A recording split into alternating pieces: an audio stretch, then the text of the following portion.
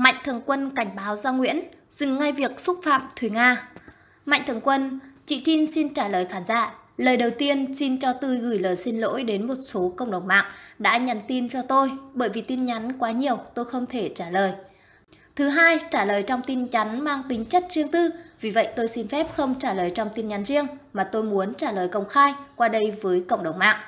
Chị Trinh mong những lời chia sẻ của mình về Kim Ngân và Thùy Nga mình đưa lên đây không phải đả kích ai hay bênh vực ai, mà cũng mong mọi người trên cộng đồng mạng, dù ai đúng ai sai, cũng đừng dùng những lời đả kích trên đối phương.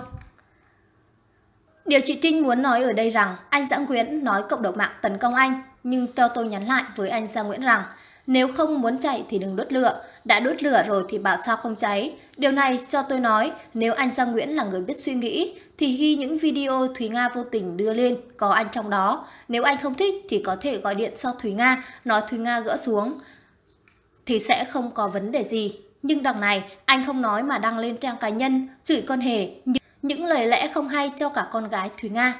Anh Giang Nguyễn chỉ là em họ, tức bà nội với bà ngoại thôi, vì họ hàng là con xa, bắn đại bác ba đời không đến. Mà anh Giang Nguyễn đã đi quá xa về chuyện của Kim Ngân. Khi anh dùng những lời lẽ phỉ báng người khác, xúc phạm danh dự người ta, anh có nghĩ đến hậu quả của ngày hôm nay không?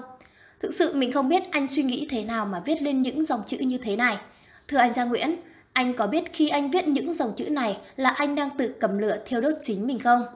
Hồng Nhang bạc phận một kiếp người, Kim Ngân đã chịu số bạc phận một kiếp người, cuối đời còn gặp phải con hề chỉ vì đồng tiền, câu view mà mang bệnh tình, gia đình, danh dự của Kim Ngân mà ra chế giễu để kiếm vài đồng từ YouTube, nó sẵn sàng lợi dụng, trà đạp và phỉ báng người khác, bất chấp đúng sai, luật pháp, không biết có con hề nào khi mới thức tỉnh và ngừng lại những video lố bịch, gian dối, không biết nó có biết quả báo sẽ đến nó với một ngày không xa. Tội nghiệp cho bé gái Nguyễn Cát, may là bé con gái, hưởng đức cha, không phải của mẹ. Con hề Bồ Tát đang từ từ lộ diện, nó sẵn sàng cắn bất cứ ai có lòng giúp cho Kim Ngân.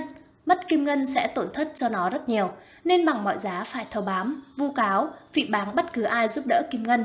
Kim ngân là độc quyền của cô Hề, chỉ có cô mới có quyền hạ nhục kim ngân, cũng như những người khác vì cô ấy có tu, có phước báo, vì cô ấy là thánh thiện. Chị Trinh Mạnh Thực Quân đã từng quyên góp tiền cho chị Ngân, đã lên tiếng mong mọi chuyện chấm dứt từ đây.